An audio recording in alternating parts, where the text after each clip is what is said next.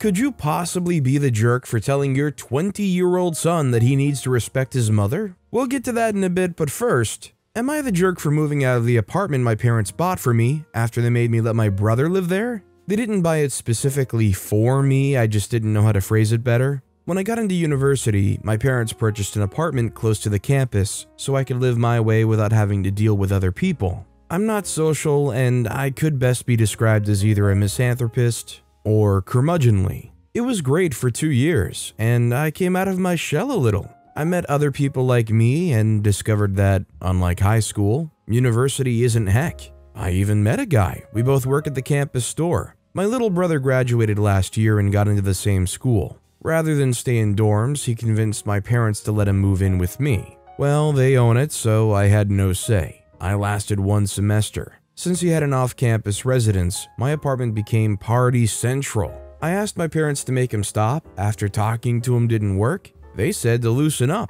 I think they know how to change my personality. I talked to the university and was able to snag a rare single room in the mature student dorm. I don't have a lot of stuff, so when we went home for Christmas, I took what was really important to me. My boyfriend, first one ever by the way, look at me all social now, cleaned out my room and moved my stuff to the student housing for me. When we drove back after New Year's, I dropped off my brother and then went to my new place. It isn't perfect, but it is pretty sweet. My parents called me and asked where I was. My brother had let them know I wasn't in the apartment. I told them where I was and why I was there. They were upset that they spent all that money to help me and I didn't appreciate it. I said I did, until they stuck me with my brother. Without me there, he's having a blast. Good for him. He's also missing a lot of classes and has been fined for noise complaints by the condo board. But that's not my problem. My parents are asking me to please move back in because my brother is in danger of being put on academic probation. I asked if I was allowed to bar him from having parties and stuff. He was a part of the conversation and was upset that I was asking to be put in charge of him. My parents said that he was allowed some freedom and that as his big sister, I should look out for him and not let him fail. I thanked them for the opportunity, but declined. And he recently had a party that the cops had to shut down. My parents are considering selling the apartment, but it's kind of a crappy market right now, I guess. I feel bad that they might lose money after doing something so awesome for me, and I feel bad that my idiot brother might have to take time off school to calm down, but I don't think I'm the jerk.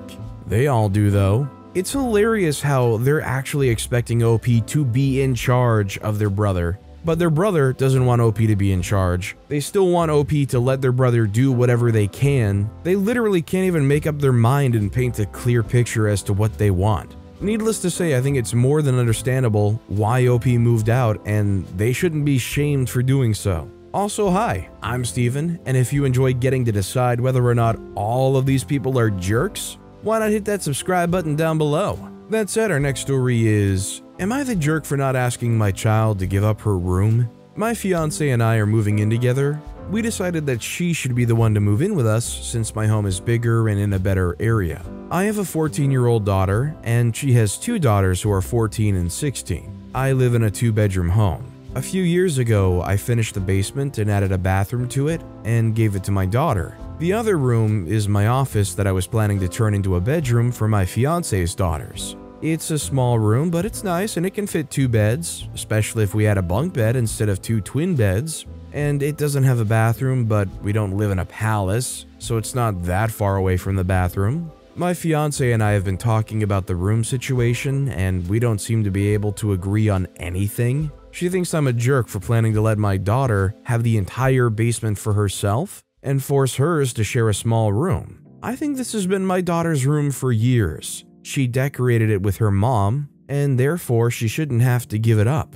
Obviously, her family's on her side and my family's on my side, so we want other opinions as well. Honestly, I don't think there's any great solution here no matter which way you want to go with it. If you force the daughter to give up her room, she's going to be resentful probably forever. If you force the girls to live in that small bedroom in a cramped house, they'll probably be pretty upset. If you give up your master bedroom and move into the small room yourself with your partner, you'll probably be upset. Is there a clear choice here? Our next story is Am I the jerk for telling my fiance that my friend's trauma is more important than her comfort? My best friend lost a parent a year and a half ago, which led him to a mental health crisis. Our friend group has been picking up the pieces ever since. He's doing much better now that he's in therapy, but he's definitely gone through it. What has complicated matters worse is my fiance. It goes without saying that I love her, but she is the definition of a busybody sometimes. My best friend is a very private person. She knows something happened with him, but she doesn't know the details of what that something is. She probably never will. But because she's around me and my friends often, as my fiance and I live in the same house, she hears bits and pieces of the story and presses for more information. I try to circumvent this as best as I can. For example, I step out of the room for specific phone conversations, but still, it's hard to limit the discussion about it sometimes. If it's necessary, we bring it up and she's around in person. We'll refer to it as the Nolan situation without giving specifics. Nolan will also stop by my place at night when he can't sleep. This doesn't happen all that often, maybe twice a month. He'll text me or call me saying he's outside. I'll go sit with him and maybe smoke a little bit, then he'll head home. I'll wait up until I know he got home safely and then I go back to sleep. My fiance hates this. She claims the phone calls always wake her up. They don't. She just sometimes happens to wake up for the bathroom while I'm outside, and that me not being in bed is alarming. This brings us to last night. Nolan stopped by, and when I came back inside, my fiance said she was putting a stop to it. She said all the sneaking around is making her paranoid. She doesn't feel like she can properly trust me or be a part of my friend group without knowing the details, and that Nolan needs to stop relying on me so much. I told her that no matter whether we're married, dating, whatever, she will never have any ownership over my friend's trauma and that she's never going to be able to order me around in regards to it. I also said her comfort was less important than someone's actual physical well being. She was obviously hurt by this and went to stay with her mom after work today. Am I the jerk? Definitely not the jerk. I mean, just imagine he shows up and everybody's code talking, people are visibly trying to avoid you with phone calls, secretly meeting up. Absolutely not. Our next story is Am I the jerk for having no empathy toward my overly emotional wife by not picking her up? I'm 26 year old male, wife is 23 year old female, and we've been together three years if relevant. Lately, my wife's been emotional, like every little thing sets her off. There wasn't a banana? She cries. No sugar? She cries. Missed her bus? She cries. I'd almost think she was pregnant, but we discovered after a year of trying to conceive that she's infertile. This was two months ago. She also recently had a baby start at her nursery, which also sets her off, so it's been a tough time. I've tried to be empathetic, but it's all the time tears. I'm so tired. Like each time she cries, I'll drop what I'm doing to comfort her, even if she calls me at work. She walks an hour to work after a bus journey. She leaves at 6:30 to get at work at 9:30. That's how long the travel is. I told her I'd drive her. She didn't want me to. I told her to take an umbrella and she forgot. She called me sobbing because it rained like I said it would. She asked me to pick her up and I said I couldn't because I had a meeting. She said I'm sure they'll understand. And truthfully, they have been understanding, but it's all the time, and I did warn her. I refused. She did get huffy, and when we got home that night, she wasn't crying, shocker, but was mad, and hasn't spoken to me since. But we haven't seen each other much as she gets home late and still has work to do, coursework, etc. I asked a friend who insisted I'm the jerk. But my wife texted me to say she's considering taking driving lessons in June, which I thought was a win but she's apparently still angry. Am I the jerk? I mean, has OP communicated and tried to understand why she's feeling so touchy? Does she have a condition? Should she be in some kind of therapy? I guess OP clarified in a comment that she refuses to go to therapy. Although it doesn't have to be therapy, I mean, it could even be like a thyroid issue that's causing mood swings. Either way, I don't think OP did anything too heinous here. Our next story is Am I the jerk for telling my dad I won't go anywhere with him if his wife is there? My 38 year old female parents got divorced about 14 years ago after my father had been having an affair with his current wife Brenda for five years. Not only this, but he was absolutely horrible to my mom in the process and really screwed her over. I was angry with him and went no contact with him for four years after. My grandfather on my dad's side before he passed away told me to try and make amends with my father. As I loved him very much, I agreed to try. I slowly tried to build a relationship back with him, and things have been okay but strained because trusting him has been hard. I also don't like Brenda. I did try, but we have nothing in common. She's a very gossipy person who talks trash about so many people, and I'm more interested in world events and science and psychology. I lived nearby until about three years ago and made an effort to see them once a month. I've now moved a four hour drive away and can only get up once or twice a year to visit. On one visit a couple years back, Brenda started talking about my half sister, saying if she had raised her, she wouldn't have all the problems she did, and that my mom was wrong in how she managed her mental illness. Without going into as much detail, my sister has bipolar disorder and was very hard to manage in her childhood. And after years of trying to get her help and her running away, my mom agreed to let her go live with other family as she asked. It was either that, or she was going to live in a group home most likely. I snapped at Brenda saying she wasn't there and she has no idea what she was talking about. I was little, but I remember all the pain my family was going through and how hard it was for mom to let her go. Since then, every time we've gone out together, Brenda refused to talk to me. She won't respond if I say hello. She stares at her phone and talks to my dad as if I'm not there. I asked him to say something about it because it's rude and uncomfortable, and he just says he can't tell her what to do and we need to work it out. I told him if that's the case, I will only visit with him and not if she's around. He says I'm being dramatic, and if Brenda isn't invited, he won't come either. I told him if he won't leave her behind, then he won't be seeing me anymore either. I love him, but I'm not going to let her disrespect me anymore. He's making me feel like I'm being the jerk because I want to see him, but I don't want to let her treat me this way. Definitely not the jerk. OP should just stand their ground and be insistent that you love and want to see your father, but you cannot continue to be disrespected by this person. End of story. Our next story is Am I the jerk for making my brother's vegan girlfriend feel alienated at my engagement dinner? I, 24 year old female, recently got engaged and had an engagement party dinner this past weekend. I'm currently still receiving backlash from this and want to get some outside opinions if I was in the wrong. My fiance and I invited both of our immediate family and close friends to this dinner, about 30 people. The dinner was held at a nice Italian restaurant in my city. Our invites gave our guests the option to choose between a meat option and a fish option for their mains. It's important to note that the only people in both mine and my fiance's family that have, I guess, food restrictions are my dad and stepmom as they're pescatarian. But a lot of people in our family love seafood, so the fish option was chosen more than the meat option. My younger brother, 20 year old male, contacted me about a week before the dinner to RSVP and asked if he can bring a plus one his new girlfriend. He chose the meat option. Now, my brother dates around a lot and is always bringing new girls around, so I wasn't aware that he was even in a relationship. I told him sure and I'd have an extra seat for her.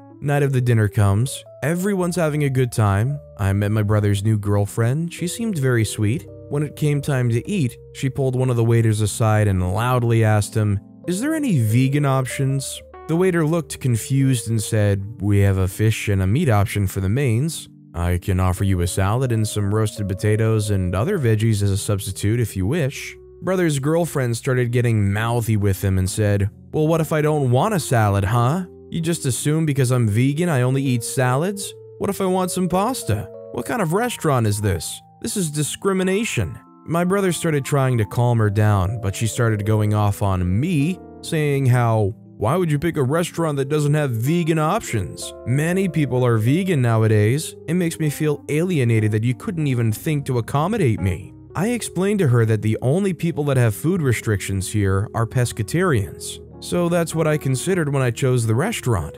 I didn't even know she was coming until a week ago. The reservation had been booked a month ago. She started saying it's embarrassing on my part that I can't accommodate all my guests, and called me small minded. I told her, sorry I didn't think to accommodate you. I'll consider that in the future. Hopefully, you'll be around long enough for me to be able to do so. She ended up leaving. My brother walked out with her and has been messaging me saying that I should apologize to her because I embarrassed her in front of everyone. I told him she embarrassed herself. My mom's also been on my case to apologize, to be the bigger person and keep the peace. Am I the jerk for making her feel alienated? I definitely don't think this is OP's jerk. This was sprung on them last minute, and the brother didn't even mention that she was vegan. She was the one that got all feisty and blew up and stuff. OP doesn't have anything to apologize for. She just comes off as horribly spoiled. This next story is Am I the jerk for asking my stepdaughter to cook for us? My 45 year old male, stepdaughter, 17 year old female, is a phenomenal cook. I'm talking homemade pasta sauces, scratch baking, heck, sometimes imported seasonings. But she only does it for herself. She's been fine cooking when I ask her to do it for us, but only on rare occasions. When we're all busy and need to do DIY dinner nights and can't all sit around the table, you can smell her homemade garlic pesto or vegan teriyaki stir fry all over the house. And it gets irritating. We get her ingredients that she uses up quickly and never makes meals to share with, and I'm getting annoyed. So I asked her earlier tonight if she would start making dinner for us all more frequently. I didn't say every night, and she got annoyed and mouthy with me, saying that she's drowning in schoolwork, her internship, and her commissions, very talented digital artist, and can't babysit us because you never learned to cook. She claims her sparse dinner preparations are a treat when she's up to the task and feeling nice, and she can't be expected to come up with something new and fresh every night. She's doing it for herself anyway, why not for the rest of us? So I told her to just do the dishes and go to her room. She did the dishes and stomped off and hasn't come out since. And my wife thinks I'm the jerk here, but I think I'm in line. She lives under my roof and doesn't pay rent, and she's already cooking every night for herself anyway. Am I the jerk? So you're saying that the 17 year old minor lives under your roof? It's kind of how it's supposed to work, I think. Also, said minor doesn't make dinner every night for you? I just don't think that's usually how it normally happens. And honestly, I understand where she's coming from. She wants to make one treat for herself. Obviously, OP's going to great lengths to dance around the fact that making servings for more people, three, four, I don't know how many people, is definitely more time consuming and a lot more work than just one meal for one person. Our next story is Am I the jerk for grounding my daughter for leaving her sister with the neighbor? I'm the single mom of three kids Polly, 16 year old female, Trevor, 12 year old male, and Cassie, 8 year old female. I have little to no support. Their father left after Cassie was born, no family nearby, etc. I have two sitters that I can call on as needed, and I use them before I ever ask Polly for help. I don't want her missing out on her teenage years. Before this incident, I only ever asked her to babysit once because I had no one else and I paid her $15 an hour, at the time above minimum wage. This past Saturday, Polly was due to hang out with some friends. For a couple of days, Trevor was ill but testing negative for COVID. That day, he spiked a very high fever and I had to take him to the ER. I asked Polly to watch Cassie as the sitters weren't responding. I apologized that she'd have to miss out on time with friends, but said I'd pay her and she could even have her friends over at our place. Polly pitched a fit and asked why I couldn't send Cassie to the neighbors. We don't know them. They moved in last month, and outside of waving when we get our mail, I don't have a relationship with them. Polly was irritated. I told her I'd pay her $18 an hour and that I had to go. I take Trevor to the ER and we have to wait a bit. Polly kept asking if the sitters responded and they hadn't. Eventually, it was our time to be seen, so I told Polly I'd be out of reach for a bit. Turns out Trevor had a bad case of RSV and, due to pre existing health problems, had to be admitted for the night. I was terrified. When I called Polly to update her, I heard people talking in the background and said, Oh, you had your friends come over. She told me no. She dropped Cassie at the neighbors and went out. I was furious. I told her to go home and get her sister. I then asked for the neighbor's number. She didn't even ask for it, which I get teenager logic and all, but still. First, Polly refused until I told her she was grounded. I made her FaceTime me when she got home to show that Cassie was with her. Eventually, my mom was able to make the two hour drive down to stay with the girls, but I told her not to let Polly leave the house. The next day, Trevor and I were able to go home.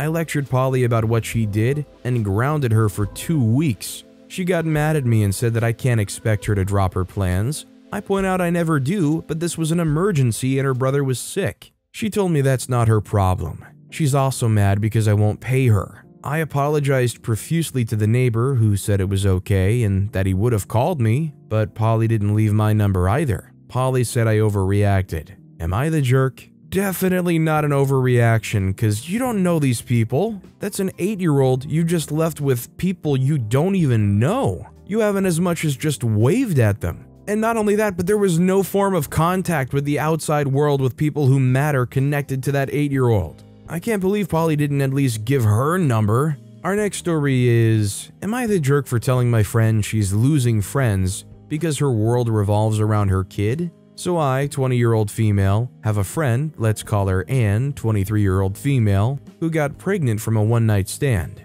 The father didn't want to do anything with the child, so she's a single mother. Her daughter Kate, two years old, is really cute. I love babysitting her, but she's all Anne cares about now. For example, she often cancels meetings with friends because of her. I understand that sometimes things come up, but this happens often, and she gives reasons like, Kate is really clingy today, or Kate really wants to go to the zoo. And even if she is there, her daughter is all she can talk about. She shows us a bunch of pictures, talks about her sleeping, her eating habits, her diaper content, her favorite songs, everything. And while I would be interested in them, if you don't stop her, she can literally talk about this for hours. And even if I try to change subjects, the topic of Kate comes up again and again. A week ago, we had a two hour long coffee meet, and when I asked the server for some water, she said, Kate want Kate to drink more water. And then for the rest of the meet was about how she wants to teach Kate to drink more water.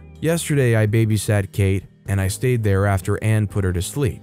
We started talking, and the topic of being a single mother came up shortly. She told me how hard it is to parent alone and how distant she feels from her peers. I try to be empathetic because I understand that being a young single parent is always challenging. But then she said how people show their true colors and listed a few of our friends who have been distant with her. She called them fake friends and witches, which I didn't like. I told her most of those friends wanted to be child free and that maybe talking about Kate made them uncomfortable. She dismissed it and said that if they were true friends, they would love her kid as much as her. I told her that she's having unrealistic expectations, and that just because her world revolves around Kate, it doesn't mean that everybody's does too. She got really upset and accused me of shaming her for being a single mother. I said I'm just trying to point out that not everybody cares as much about Kate as her and her constantly talking about her kid can be tiring. She got angry and told me to leave, so I did.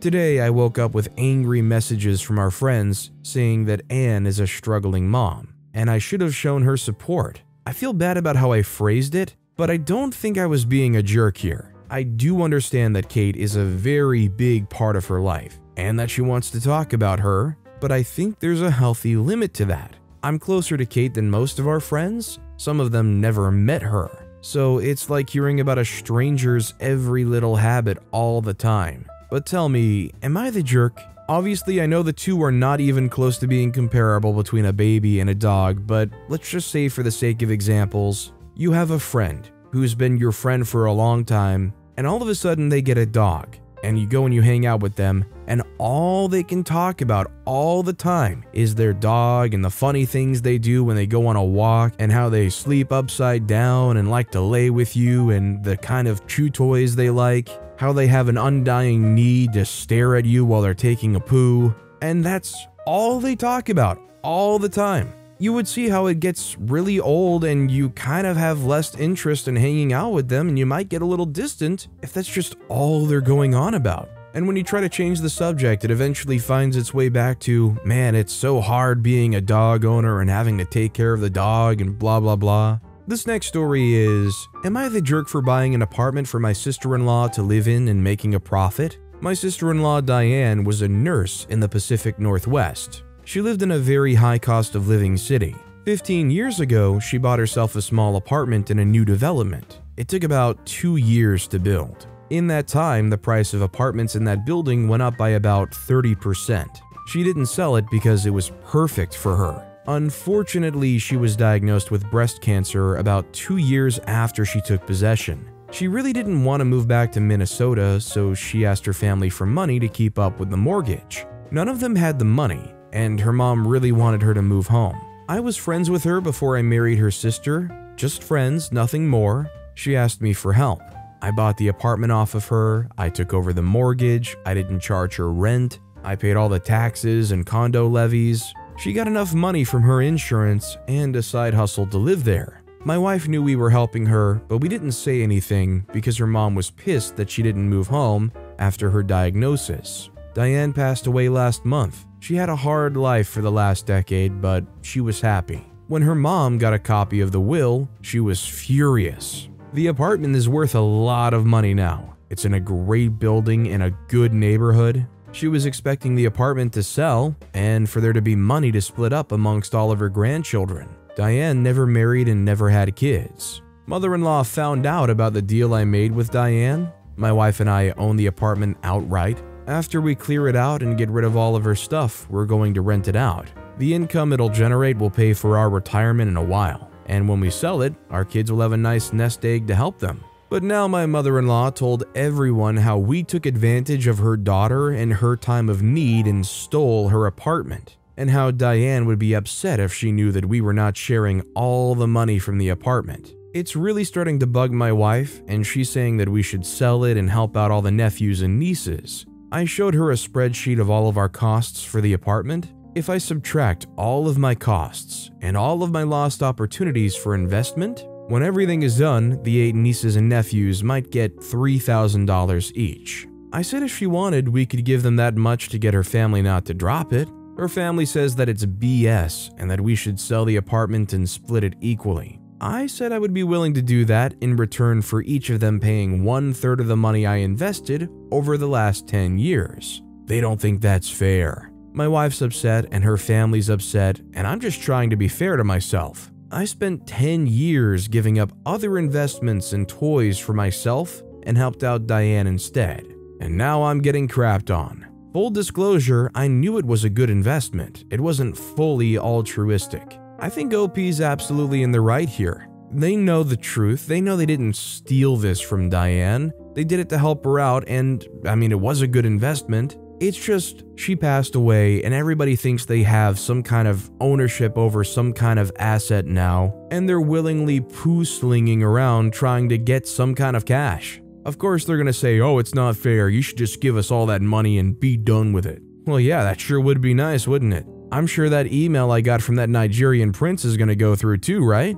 Our next story is Am I the jerk for telling my son that he needs to respect his mother? I have a son, 20 year old male, who's studying engineering in college. And as of recent, he's found the study material a little difficult and rightfully needs to work on. A few days ago, he came home from the dorm for the weekend to cool off a little bit. On Sunday, my wife came into my son's room, and I could tell he was a little agitated trying to work on something he didn't fully understand. My wife tried to console and reason with him, but he ended up raising his voice at her, telling her to leave him alone. Then my wife just told him to pack his bags and that he's going back to the dorm. He can't be here if he's going to act like this. My son tried to talk over her to shut her up, but my wife wasn't having any of it, telling him that she wouldn't relent until he either calms down or packs his stuff, and that she will not be held emotionally hostage by my son. And then he started calling her an overbearing witch and all sorts of other nasty names.